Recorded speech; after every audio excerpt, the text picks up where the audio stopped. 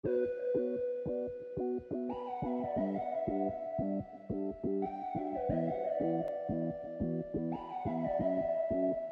tikrai. Veiksmas vyksta ir veiksmas vyksta įdomus. Apsikabinės. Atsargiai. O dabar. Spėti žaidėją galbūt, kad reikėtų ramiau reaguoti į tam tikrus teisėjų irgi sprendimus. Laukžėmis gerą perdavimą atlieka, tarp kitko labai ir prastai pasistabdomas kamuolys dabar. Į baudos aikštelę ten reikėtų išmušti kamuolį, nes vienas iš suduvo žaidėjų ant vėjos. Tačiau taip nevyksta, čia gali būti išeimas vienas prieš vartininką. Kas yra greitesnis? Vienas prieš vieną, granitas neįmuša Karolis Laukžėmis. Kupšys. Vartininko klaida ir Karolis Laukžėmis. Pavyksta jiems sužaisti čia patikimai ir rezultatas tampa 2-4. Ir jau, jau kažkiek, manau, ir neramis dienos.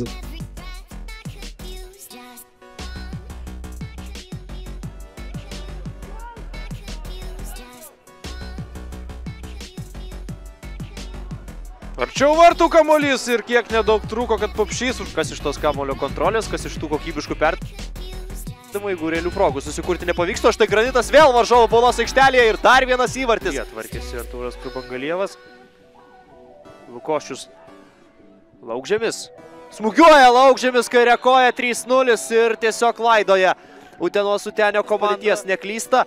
Ir Klaipėdos granitas triuškina Utenos Utenį. Šiandien yra keli tokie granito komandos fanai. Čia Laukžėmis vienas prieš vartininką. Karolis Laukžėmis. Va toks jo sugrįžimas. Nepastebėjau kaip greitai. Viskas taip gavosi ir puikiai Karolis Laukžėmis tiesiog perkelia kamolį per va. Ką jis čia daro? Na, čia.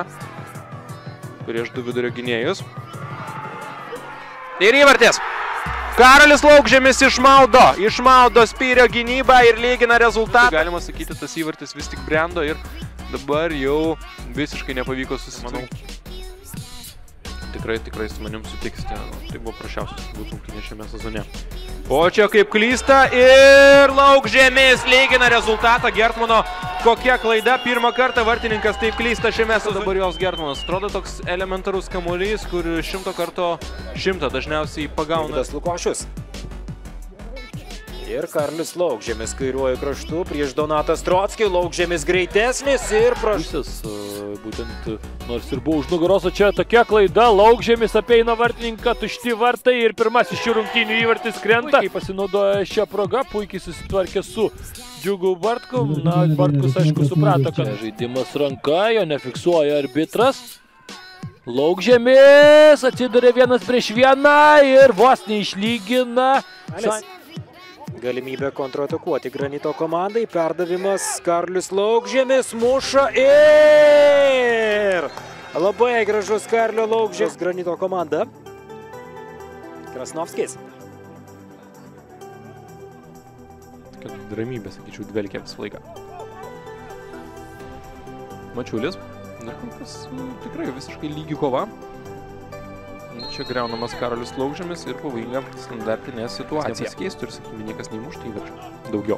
Tai pergalė būtų būtent e, Stumbro komandos kišenėje Laukžėmis ir čia pražangos nėra, sako teisėjas. Tai ir mažiausias skaičius. Na, lygoje ir realiai tikruoja tiek Utenis, tiek tik jis yra sužaidę po daugiau.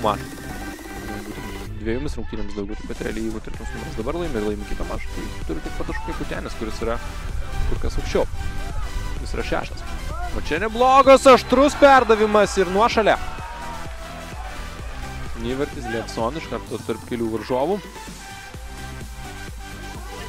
Ir išsaugo kamuolį, kas svarbiausia, laukžėmis, na, įspūdingai žaidžia laukžėmis baudos aikštelėje, perdavimas pasiekė adresatą ir neį. Račkus klysta ir čia laukžėmis, vienas prieš visus, laukžėmis klaidina keletą varžovų. Aišku, dešinė koja yra jo stiprioji, koks smūgis ir laukžėmis, na įprastai. Laukžėmis eilinė dvikova laimi, laukžėmis baudos aikštelėje, laukžėmis rikošetas ir... Nes pasirodė aikštėje Lipius Jankauskas, taip pat ir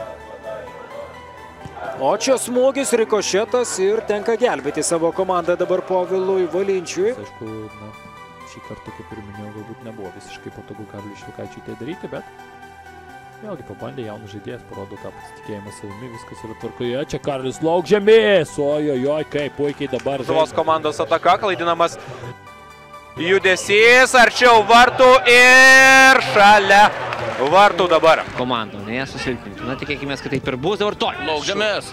Laukžemis kirikoja. Bet tokio... Jisai taip pat turės savo šansą. Karolis Laukžemis, vienas prieš vartus smūgis ir Pavlas Liausas. Jamakas. Ir puikus. Puikus Pavilas Valinčius po Karolio Laukžemio smūgio. Pėtsapas lyg žuvis vandenyje, baudos aikštelėje jau jis ir pirmasis įvartis krenta.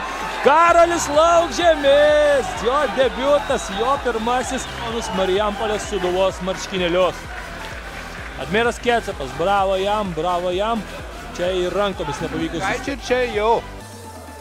Kuo atsakys Sūduva? savo Geras stichijoje. perdavimas, reikia mušti ir klysta vartininkas. Turbūt 3-1. įvarčius ir vilkėdamas suduvos ekipos marškinėlius. Na, kol kas šios rungtynės labai primena tą ankstesnį komandų susidėjo. rinktinės ir žaidėjas, kuris tikrai kokybiškas, o čia lauk žemės ir puikiai žaidžia dabar vertelės. Čia dar vienas įvartis, nuošalės nėra. Ir, ir čia Jonavoje, koks buvo užfiksuotas ir būtent Marijampolė Karlis Laukžėmis.